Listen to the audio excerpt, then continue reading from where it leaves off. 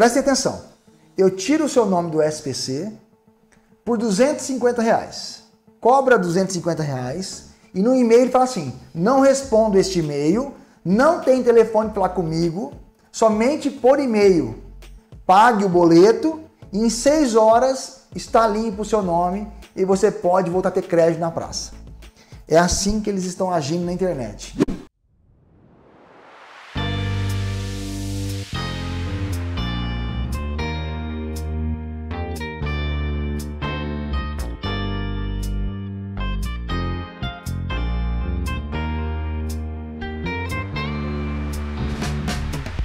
Eles agem na internet dessa forma, né? Eles criam um e-mail, colocam algumas informações no e-mail e acaba tentando ganhar a pessoa fazendo essas informações e dando a conotação que eles estão falando a verdade. Então assim, eu tiro o seu nome do SPC, preste atenção, eu tiro o seu nome do SPC por 250 reais. Ele está dizendo isso, tá? O fariseu. Eu, eu, eu, eu tiro o seu nome do SPC por 250 reais. Excluo todas as consultas, limpo o seu nome, eu tenho acesso ao sistema dos birôs. A garantia é o boleto que você vai pagar. Você tem que depositar no meu Pix de 250 reais para que eu baixe todas as dívidas que você tem. Esses fariseus fazem isso, tá? Eles fazem isso. Então eles pegam o quê? Eles pegam é, um, faz um e-mail, coloca várias frases no e-mail, cobra 250 reais e no e-mail ele fala assim: não respondo este e-mail, não tem telefone para comigo, somente por e-mail. Pague o boleto e em seis horas está limpo o seu nome e você pode voltar a ter crédito na praça. É assim que eles estão agindo na internet, mandando e-mail, bem calibradinho o e-mail, né? Com palavras grifais, ou seja, em alto relevo, em alta é, letras garrafais, tá? Em letras garrafais, em alto relevo, né? Dando a conotação que eles estão falando a verdade. Não façam isso, é golpe. Se você tem amor ao seu dinheiro, não pague 250 reais para esses vagabundos. Porque eles querem o quê? Que você pague 250 reais, ele vai sumir. Ele não vai te responder e-mail, ele não vai olhar o seu e-mail, você vai mandar o boleto, ele vai rir da sua cara. E vai te chamar de tonto ainda por cima. Vai te chamar de tonto se você pagar 250 reais para ele. Tá? Não façam isso. Não existe isso. Tá? Não existe esse tipo de coisa. Tá, gente? O sistema do Serasa, do Boa Vista, é altamente seguro. Eu estive nos quatro birôs. Ninguém entra na sala do Serasa dos birôs. Somente aquele cara responsável fiscalizado 24 horas.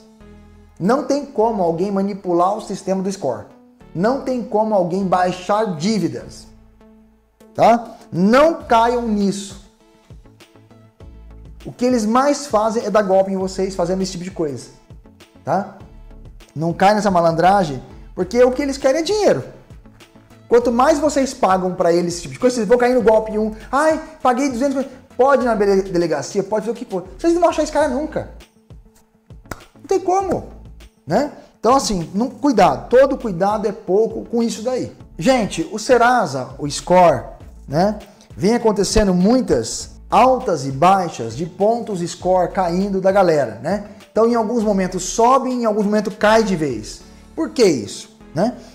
E eu vou falar algumas coisas para vocês que vem fazendo o score de vocês caírem coisas que lá no passado não era revelado. Por que que acontece isso, né? E aí, eu quero mostrar para vocês como isso afeta o score de vocês. Além do que eu vou falar, mais isso, tá? Primeiramente, vocês já ouviram falar que tempo, tempo de crédito, tempo de crédito abaixa seu score? Vocês já ouviram falar isso? Talvez o Clóvis, que é advogado, Márcio Sobral, Rafael Levi e os demais advogados que estão me assistindo, talvez nunca ouviram falar disso. Tempo de uso do crédito. Tempo de uso do crédito, é, olha o que o Serasa diz. Seu contrato de empréstimo ou financiamento em andamento, a mais recente, foi feito há um mês, de acordo com o cadastro positivo. Ou seja, o tempo de crédito que você tem, de empréstimo que você contratou, Ele derruba seu score quando tem uma nova atualização da base.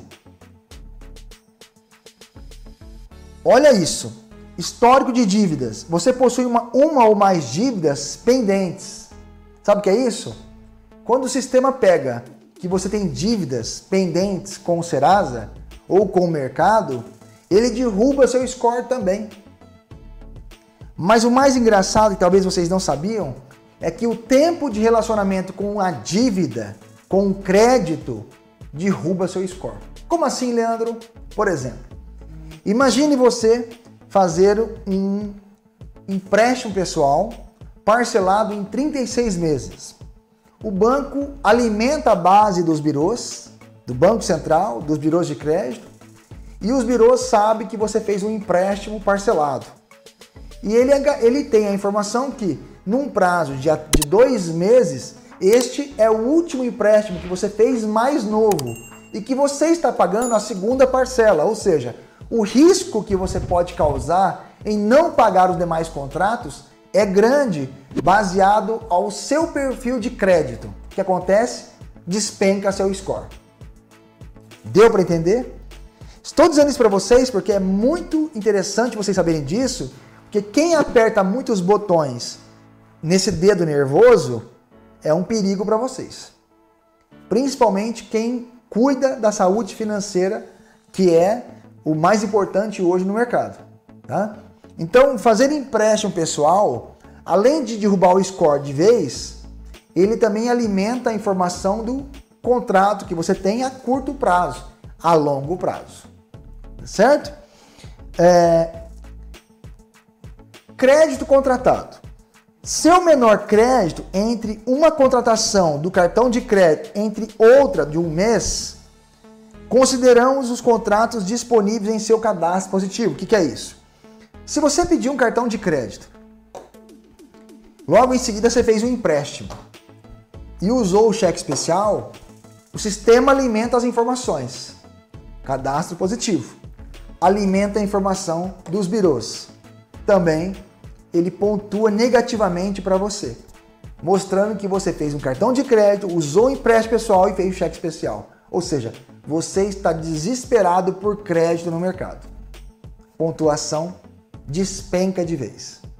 Tá? E eu quis trazer essas informações para vocês, além de outras que eu vou falar aqui agora, mas que vocês fiquem atentos, principalmente ao cadastro positivo, junto às informações que são alimentadas. Tá? Bem, abri uma conta no banco X, fui aprovado, empréstimo pessoal, cheque especial, me liberaram uma linha de LIS, me liberar linha de financiamento, entre outras mais. Dependendo do seu perfil de crédito, dependendo do seu perfil de risco, o seu score pode cair. E cair não tem a quantidade de pontos exclusiva. Isso depende de cliente para cliente, caso a caso, de pessoa para pessoa. Seu score pode cair 3 pontos, 6 pontos, 200, 500, 600 pontos de uma vez só. Porém, para subir, meus amigos, leva-se tempo. Vocês vão ver que para cair os pontos, cai que é uma beleza. Mas para subir esses pontos, demora-se tempo. Demora para você provar que você é um bom pagador. Mas para mostrar que você é um mau pagador, despenca de vez. Ou, melhor, colocando minhas palavras, para você mostrar que você pode atrasar as dívidas, despenca de vez. Meus amigos, o score, ele é comportamental. Se você entender essa frase, você entende tudo que eu estou falando. Score é comportamento. Score de credit, credit behavior score, os cálculos de pontos é a base do comportamento do seu CPF. Se você usar a linha de crédito que não é sua, o seu score pode cair. Como assim, Leandro? cheque especial, empréstimo pessoal, financiamento, crédito pessoal, todos. Independente que crédito é esse, todos. Crédito pessoal, cheque especial, independente do cheque, independente qual banco for. Financiamento, independente qual é o financiamento. É carro, é casa, é consórcio, não interessa. Financiamento. Como consórcio, Leandro? Consórcio contemplado é financiamento. Consórcio contemplado, o banco pegou, liberou o produto para você. Nesse momento que o banco libera o produto para você, você está financiando o bem. Ele é alienado fiduciariamente. O bem não é seu, é do banco. O risco existe. Então você tem financiamentos, empréstimos, crédito, cartões de crédito, tudo que é terceiro, tudo que não é seu, tudo que é comportamento do CPF que causa risco de crédito, cai o score. CPF na nota aumenta meu score? Já tem acho que quatro vídeos no canal falando desse assunto. Soltei, eu acho que ontem de ontem. CPF na nota não aumenta score nenhum. Isso é balela. Não existe CPF na nota para aumentar o score. Isso é mentira. Isso aí é uma sacanagem que esses vagabundos fazem para vender cursos de score para aumentar, para enganar vocês. Ah, meu score. Pode ver, no TikTok tá cheio de vagabundo falando isso daí que. É, é, olha, eu vendo curso de score, aumentou meu score. Tem uns lá que mostram até o score deles, 950, 980. Eu fiz essas técnicas e aumentou meu score. Clica cá na minha, na minha bio, clica na minha bio que eu te dou lá um curso por 50 reais que vai aumentar o seu score. Gente, não caiam nisso. Isso é tudo mentira. Serasa, Boa Vista, SPC Brasil e Code não aceita esse tipo de coisa. Se você falar com os quatro birôs, os quatro unânime falam a mesma coisa. Não existe isso.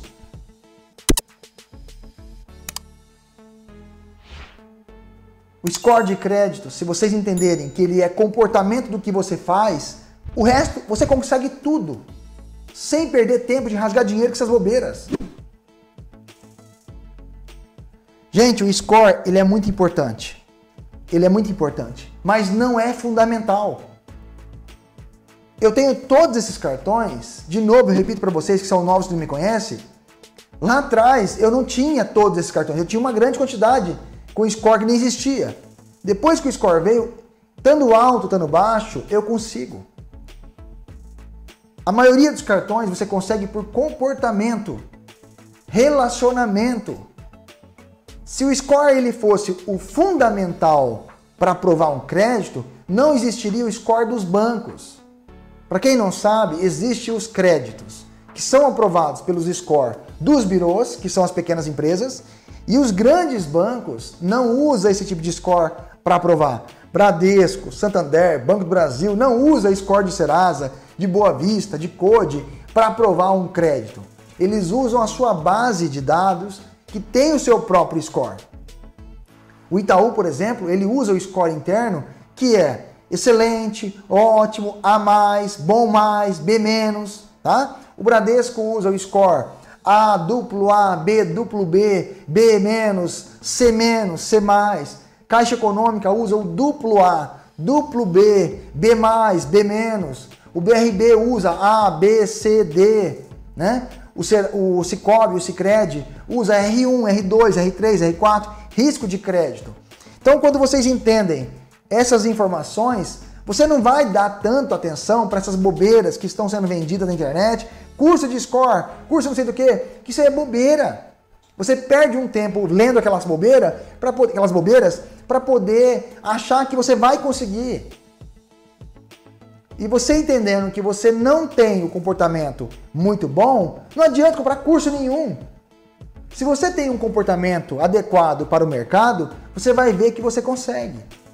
Se você, se você se garante a não ficar usando o seu CPF à toa, à torta e à direita, você vai ver que você em poucos meses seu score subiu para o mercado. E não adianta você ter score de mil no Serasa, score de 300 no Boa Vista, score de 600 no SPC Brasil e 200 no Code, que não adianta nada.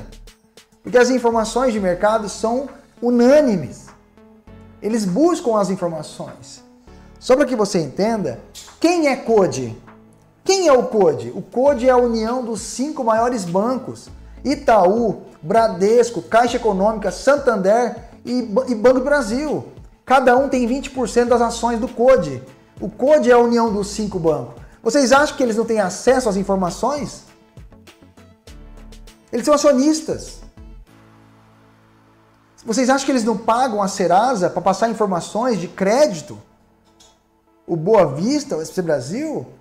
Então, quando você entende que o comportamento seu é adequado ao mercado, daqui uns poucos meses você consegue o que você quiser.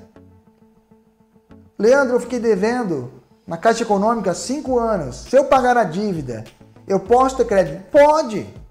Gente, o que vocês mais vai ouvir na internet, independente quem é que está falando isso para você, se é advogado, se é um esses fariseus que fazem cursos e tudo mais. O que vocês mais vão ouvir dessas porcaria é falar assim, nessas bostas desse TikTok, desculpa palavrão, é falar assim, não pague a dívida, negocie. Lógico que você tem que pagar a dívida. Você não fez a dívida? Você tem que pagar a dívida. Agora, pagar aquilo que o banco está te ofertando, você pode usar o seu poder de persuadir e negociar. Olha, eu devia 10 mil, eu consigo pagar mil reais. Faz a conta proposta. A financeira vai vir e falar assim: não, eu te passo por 3. Não, eu te vendo, por, eu faço por 500. Eu posso pagar 500 reais. Você tem que pagar a dívida. Você não tem que dar ouvido para essas pessoas que falam: não paga não, que vai caducar. Vai caducar, seu nome do SPC vai sair.